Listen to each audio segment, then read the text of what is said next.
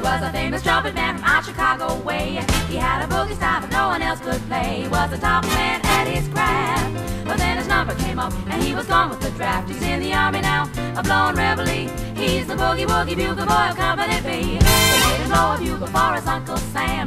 It really brought him down because he could not jam. The captain seemed to understand. Because the next year the cap went out and drafted the band. And now the company jumps when he plays reveille. The boogie woogie bugle boy of Company B. A root, a toot, a tootly attitude. He blows eight to the bar.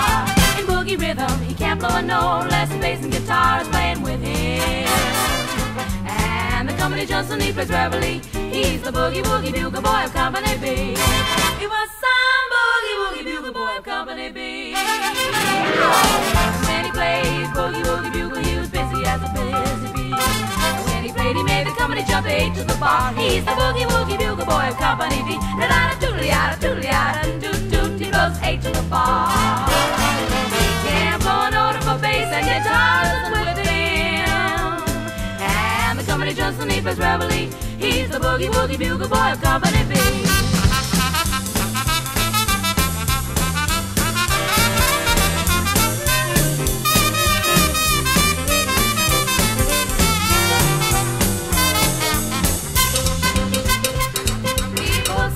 sleep with boogie every night and wakes them up the same way in the early bright. They clap their hands